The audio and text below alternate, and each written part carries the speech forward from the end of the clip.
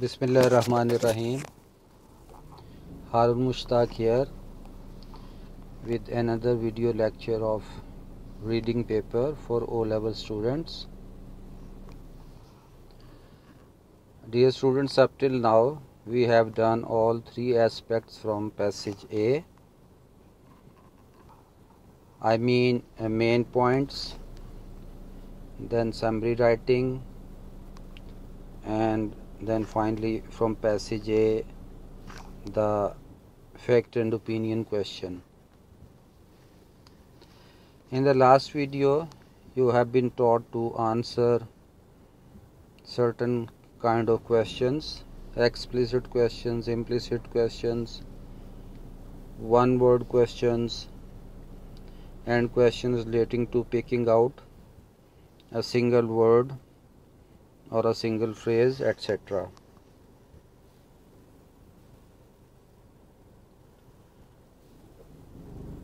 now we are moving towards the last two aspects of reading paper of passage B. These are a vocabulary question and meaning and effect question.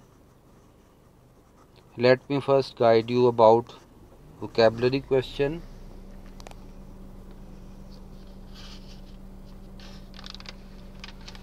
this question carries 5 marks and you will be given 5 words from passage B with 4 options A, B, C, D for each word. You have to circle the letter of the correct option. You have to circle the letter, I mean A or B or C, not the correct answer or the correct meaning, but rather the letter. Uh, uh, please remember that uh, following instructions uh, in O level uh, is quite necessary, so you have to follow the instructions. So, circle the correct letter or the correct option. We have to be very careful attempting this question as we are asked to give the meaning according to the context meaning according to the context or in other words uh, in which meaning the word has been used in the passage uh, we should not or we cannot give generalized meaning. Few years back mm, you were given only words and you have to write the meanings according to context by yourself. But now you should be thankful to paper setters that at least they give you something to ponder over and sometimes even a fluke can win you a mark. Just a stroke of luck can win you a mark. But uh, joke is a joke. I strictly recommend you to enhance and increase your vocabulary and don't always rely on chances and lucks and avoid this dicey game. Now uh, come to the point uh, what is meaning on meaning sorry what is meaning in context uh, I just want to share with you a very simple example so I am reading out two sentences for you. First sentence is he is a rich man. Second one the soil near the rivers is very rich. Now in both the sentences rich is used in different meanings. In the first sentence obviously rich means wealthy, a rich person having a lot of wealth, money, etc. Whereas in the second sentence, rich implies to fertile land. So you have seen that by using a word in a different context uh, uh, the meaning of that word uh, is changed.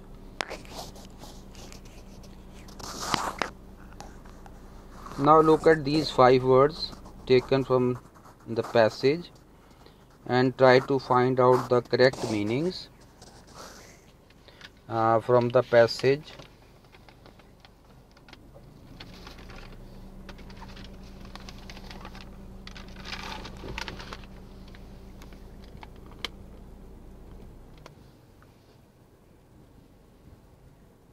So after uh, this question uh, I want to come to uh, the last question. I must say that uh, it is my feeling or my observation that most of the students uh, they are unable to answer this question correctly. They generally most of the students they rewrite the given phrase the given sentence. I mean this meaning and effect question the last question of passage b or this reading paper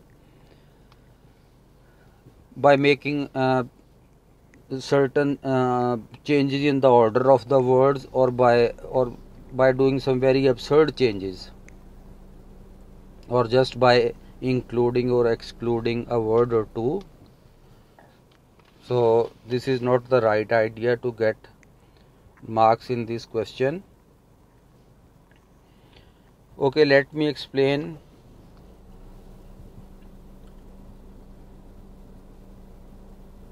what and how you have to do in this part so first part part A where you have to give the meaning of a sentence. Uh, in this case, uh, recall to your mind the own word question so we can easily associate this part with an own word question. Now, what should we do? We have to first identify the keywords in that particular sentence or phrase or maybe if not keywords maybe some idiom is given to you as in this particular case. And then try to explain it in your own words. Uh, I will uh, I will do this question for you myself uh, because I don't want to assign this part to you. Now students often uh, ask me uh, how many lines they have to write uh, responding to this part a i mean writing the meaning of a given sentence or phrase. It varies uh, it varies because of the nature of the sentence but generally two three lines are enough. But i have uh, another device for you that if you are not uh, convinced about your response or explanation you should write more why. You should write more hoping that some relevant word or some relevant phrase may catch the attention of the examiner and subsequently uh, he may award you a mark. Now the question here is in this case the line given to you okay first uh, let me read the question it is reread paragraph 2 and 7 which contain sentences telling us about the personalities of the writer and be the writer's brother and then explain the meaning of each sentence as it is used in the passage.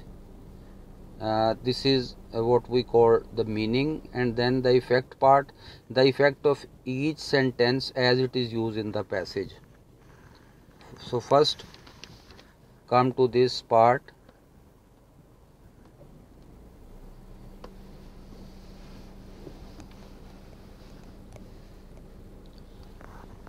the first sentence given to you is this is your uh, question number 10 part a and the lines or the line that is given to you from two lines line number 10 and 11 these are given to you from the passage. Uh, i will read out the lines for you.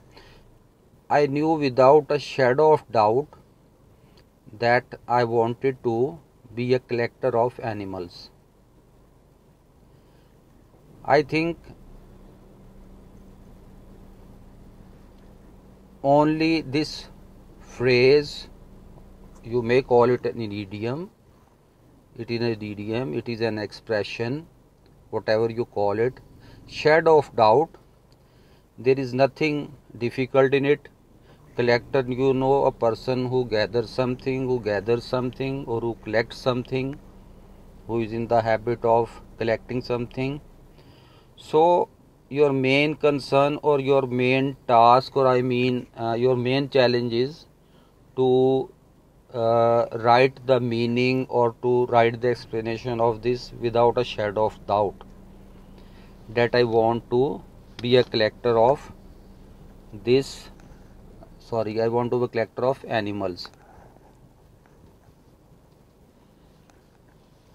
So shadow of doubt here means you know the meaning of doubt. Shadow of doubt means that without any doubt the writer has no doubt in his mind or he has the least of the doubt that he wants to or he wanted to collect animals so here if you write that the writer was uh, very much I mean sure or writer uh, is very much convinced that collecting animals is his hobby. So this is the meaning uh, reply to the meaning part and then now come to part B of this question that is effect part. First of all describe whom writer want to put, put an effect on whether on himself on the story or the reader. Certainly he wants to put an effect on the reader. He wants to give an impression he wants to convey an impression on the reader uh, what the writer wants to say here is he wants to put the effect on the reader about a certain situation, about a certain person, about uh, an environment, and so on. In this case, he want to put uh, effect about the personality or the character trait of himself. So here he wants to say that he is a confident person. He has no doubts in his mind. So i think that is enough. There can be other words also. Uh, you may check mark scheme later on now uh, come to part b of this question. The line given here is in 10th part B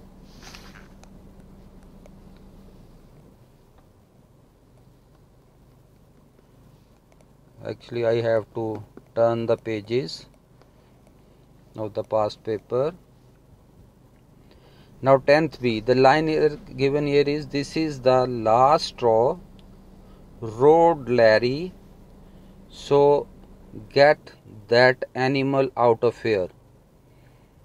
Now uh, larry in this story uh, he is brother of the writer.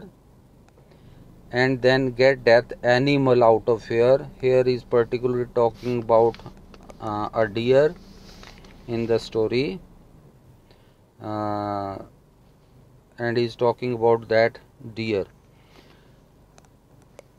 Let me uh, first explain you. Here again you have encountered i think uh, uh, you have again encountered with an idiom with an expression the last straw the last straw. Now what is last straw? Uh, I want to narrate a very brief story uh, so that you can better understand what is meant by the last straw. Once someone started loading the beast of burden uh, load was put on that animal gradually and one after the other and the people or the person putting the load he kept on increasing the load. Finally the load increased or reached to such an extent that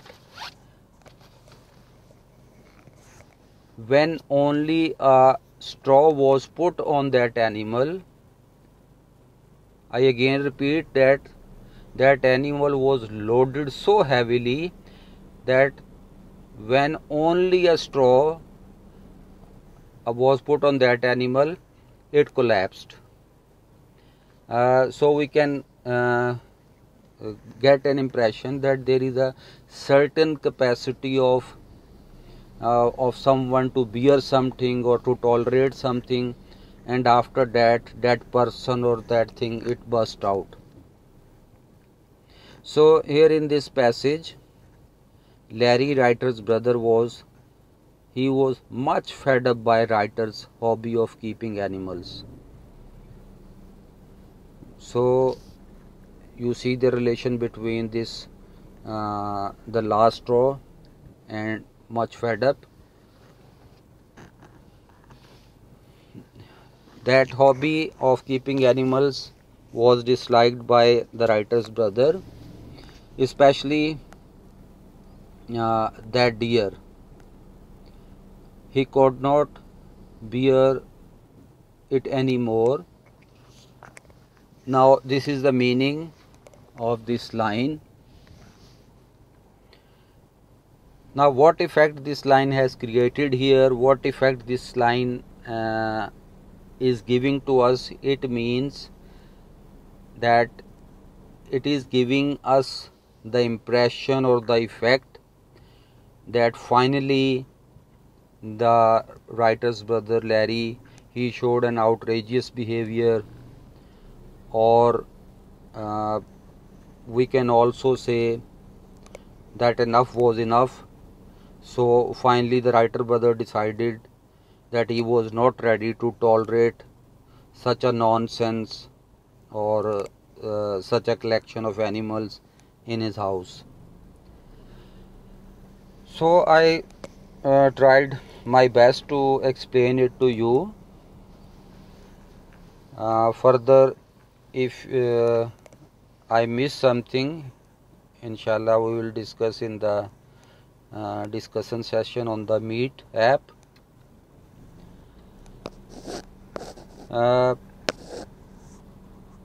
now, dear students, uh, you all know as we don't have enough material, I mean past papers to practice this meaning and effect question because this is a, a, newly introduction I mean five six four five six years so I will keep inshallah assigning you the same question by making that question myself from the past papers.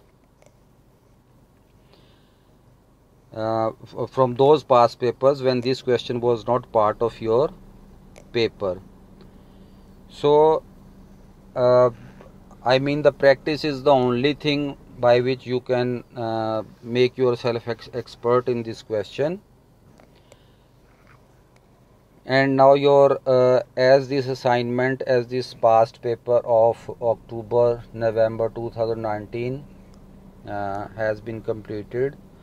So now it is your assignment uh, to completely solve all this paper few students they have already submitted their content points and summary writing and fact and uh, opinion question. Those who are uh, uh, those who haven't still submitted their assignments please submit your assignments. And then also complete the remaining uh, part I mean the passage B question answers vocabulary question and this meaning and effect question. Till then thank you very much. Allah Hafiz stay blessed